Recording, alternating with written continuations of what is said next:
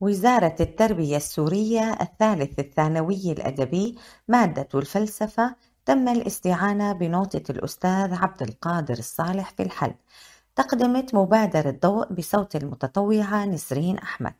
يغطي هذا التسجيل الوحدة السادسة الدرس الأول بعنوان التأويل في الفكر العربي. من الصفحة 143 حتى نهاية الصفحة 147 عنوان الدرس التأويل في الفكر العربي. قضية للمناقشة. ليس ثمة من تأويل نهائي للحقيقة فالحقيقة سيل من التأويلات. واحد ما التأويل؟ اثنين هل يمكن أن نأخذ الماضي وثقافته كما هي؟ أبرر إجابتي. انتهت القضية. أولا فقرة بعنوان معنى التأويل.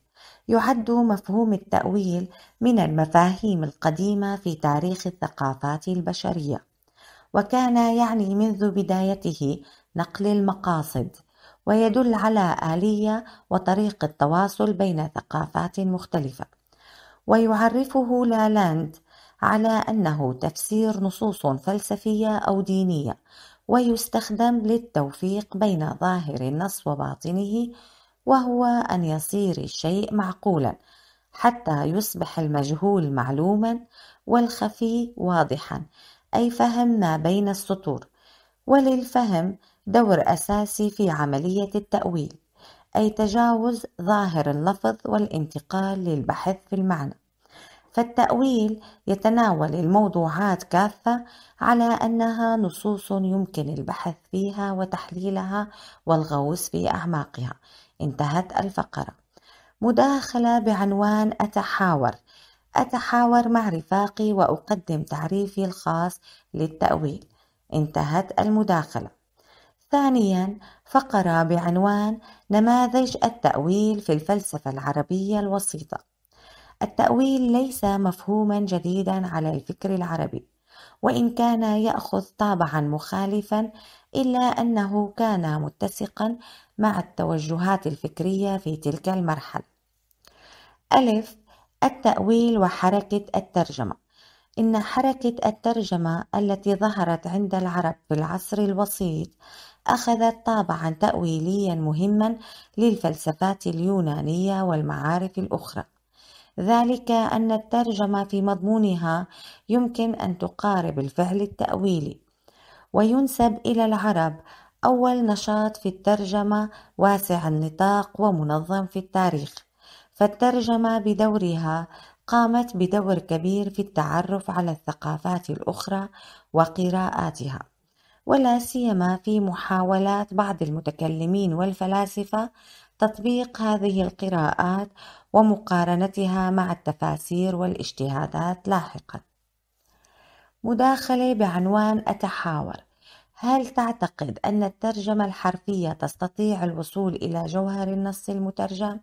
انتهت المداخلة ب. التأويل عند الفرق الكلامية برزت النزعة التأويلية عند العرب مع ظهور الفرق الكلامية التي شهدت جدلا دينيا كبيرا وعلى رأسهم المعتزلة في تعاملهم مع النص الديني ودورهم الكبير في إعمال العقل. إذ لعب المتكلمون بصورة عامة والمعتزلة بصورة خاصة دورا كبيرا في تأسيس وظهور علوم اللغة خصوصا العلوم البلاغية ومن بينها علم البيان والمعاني. فعلم الكلام هو التجربة الأولى لفهم ما وراء النص الديني. دون التقيد بحرفية النص الذي حدد معالم التفكير التي أنتجتها الفلسفة لاحقا ضمن قراءات متعددة. سؤال ما طريقتي لفهم الموضوعات؟ العقل أم التقليد؟ ولماذا؟ انتهى السؤال. جيم التأويل عند ابن رشد شكلت فلسفة ابن رشد حالة ثقافية فلسفية في العصور الوسطى العربية متميزة عن سابقاتها نظرا لرؤيته العقلية وامتلاكه ثقافة موسوعية بالفلسفة اليونانية والفكر الإسلامي وكان له الدور الأكبر في تأسيس تأويلية عربية حيث وضع قواعد التأويل للكشف عن الحقائق الباطنية الكامنة خلف المعنى الظاهري للنص الديني. لقد أعطى ابن رشد الأولوية للتأويل لمن هم من أهل البرهان العقلي، ووسع دائرة العقل لتشمل قضايا وجودية كبيرة في الفكر الفلسفي. سؤال: ما القضايا التي يمكن أن أخضعها للتأويل ولماذا؟ انتهى السؤال. نشاط رغم غياب المدارس الفلسفية العربية بمعناها المعروف في تاريخ الفلسفة نستطيع أن نلمس ملامح فلسفية. كيف أرى الحضور الفلسفي في الفكر العربي المعاصر؟ انتهى النشاط. ثالثا فقرة بعنوان بعض اتجاهات التأويل في الفكر العربي الحديث والمعاصر نتيجة التأثيرات الغربية في الثقافة العربية الحديثة والمعاصرة تأثر الفكر الحديث والمعاصر بكثير من المنهجيات والاتجاهات الفكرية التي تخص العلوم الإنسانية مما أدى إلى اختلاف القراءات التأويلية وتنوعها. ومن هذه الاتجاهات واحد الاتجاه المادي التاريخي ومن أهم ممثليه المفكر العربي حسين مروى الذي تقوم قراءته للتراث العربي على مبدأ أنه يجب الخروج بقضية التراث من كونها قضية الماضي أو كونها إسقاط الماضي على الحاضر إلى كونها قضية الحاضر نفسه. إذ سعى إلى إقامة علاقة جدلية بين ما أنجز في الماضي وما يمكن إنجازه في المستقبل. من خلال إعادة النظر في آليات التعامل مع التراث.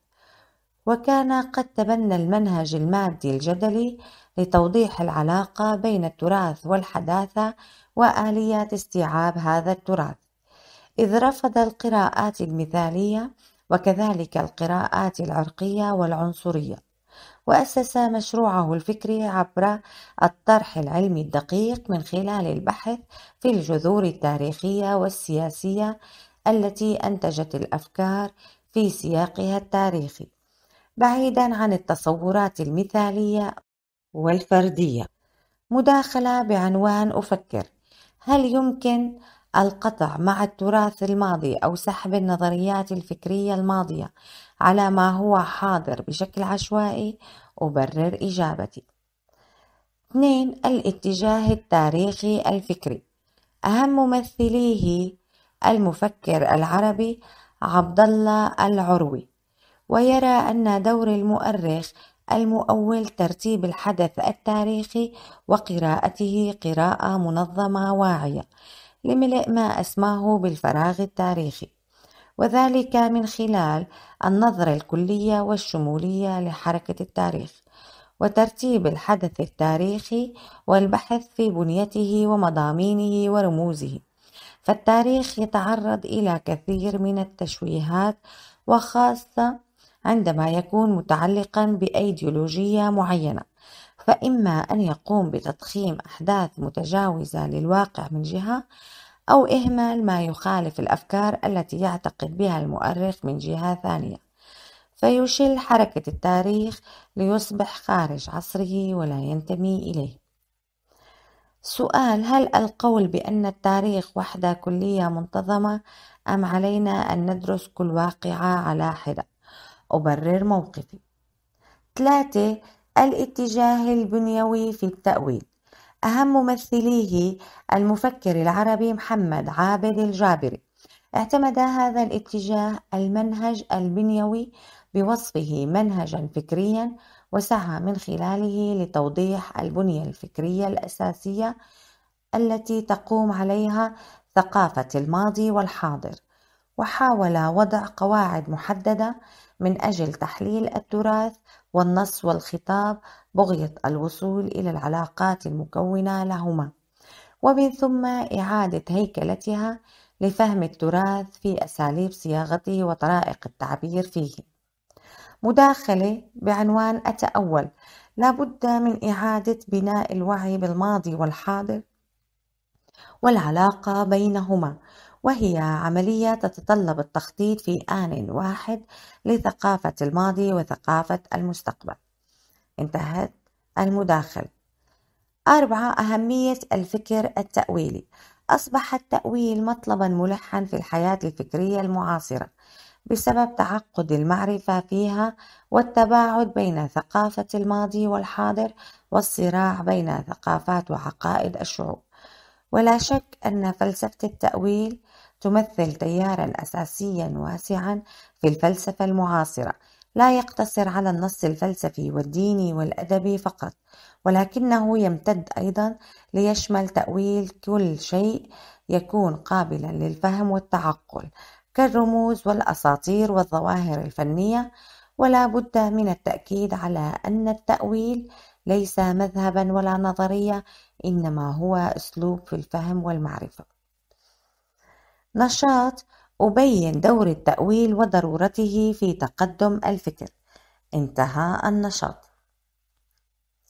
الإجابة على أسئلة الدرس. أولا أجيب عن الأسئلة الآتية. واحد. كان لابن رشد الدور الأكبر في تأسيس تأويلية عربية. علل ذلك. الجواب لأنه وضع قواعد التأويل للكشف عن الحقائق الباطنية الكامنة خلف المعنى الظاهري للنص. انتهى الجواب. 2 أوضح دور حركة الترجمة في ظهور التأويل. الجواب قامت الترجمة بدور كبير في التعرف على الثقافات الأخرى وقراءتها لا سيما في محاولة بعض المتكلمين والفلاسفة تطبيق هذه القراءات ومقارنتها مع التفاسير والاجتهادات لاحقا. انتهى الجواب. ثلاثة يسعى المنهج البنيوي إلى اعتماد قواعد محددة. وضح ذلك.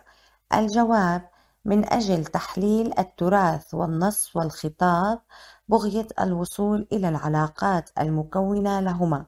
ومن ثم إعادة هيكلتها لفهم التراث في أساليب صياغته وطرائق التعبير فيه.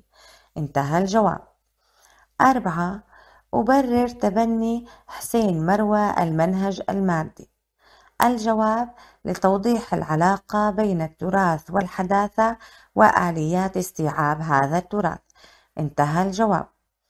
خمسة عمد الجابري في قراءاته التأويلية إلى اعتماد المنهج البنيوي. علل ذلك. الجواب بوصفه منهجا فكريا وسعى من خلاله لتوضيح البنية الأساسية التي تقوم عليها ثقافة الماضي والحاضر. انتهى الجواب. ستة وازن بين رأي محمد عابد الجابري وعبد الله العروي في منهجيهما التأويليين. الجابري سعى لتوضيح البنية الفكرية الأساسية التي تقوم عليها ثقافة الماضي والحاضر. العروي يرى أن دور المؤرخ المؤول ترتيب الحدث التاريخي وقراءته قراءة منظمة واعية لملء ما أسماه بالفراغ التاريخي. انتهى الجواب. سبعة استنتج دور العقل في التأويل لدى المتكلمين. اعتمد المتكلمين عامة والمعتزلة خاصة على العقل من أجل فهم النص الديني على العكس من الفرق الدينية الأخرى مثل الأشاعرة وأهل النص وهي أول محاولة لفهم النص الديني دون التقيد بحرفية النص.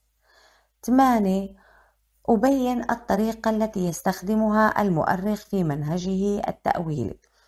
الجواب ترتيب الحدث التاريخي وقراءته قراءة منظمة واعية لملء الفراغ التاريخي وذلك من خلال النظرة الكلية والشمولية لحركة التاريخ. انتهى الجواب. ثانيا أجيب عن الموضوع التالي. أقدم رؤية أوضح فيها أهمية التأويل في تقدم الفكر في الثقافة العربية. من خلال دراستي للاتجاهات التأويلية في الفكر العربي المعاصر. المقدمة تتضمن يعد مفهوم التأويل من المفاهيم القديمة في تاريخ الثقافات البشرية وكان يعني منذ بدايته نقل المقاصد ويدل على آلية وطريق تواصل بين الثقافات المختلفة. الصلب ويتضمن اتجاهات التأويل في الفكر العربي المعاصر الخاتمة والرأي الشخصي ختاما أرى ومن وجهة نظري أن التأويل أصبح مطلبا ملحا في الحياة الفكرية المعاصرة بسبب تعقد المعرفة فيها والتباعد بين ثقافة الماضي والحاضر. انتهت الأسئلة. انتهى التسجيل.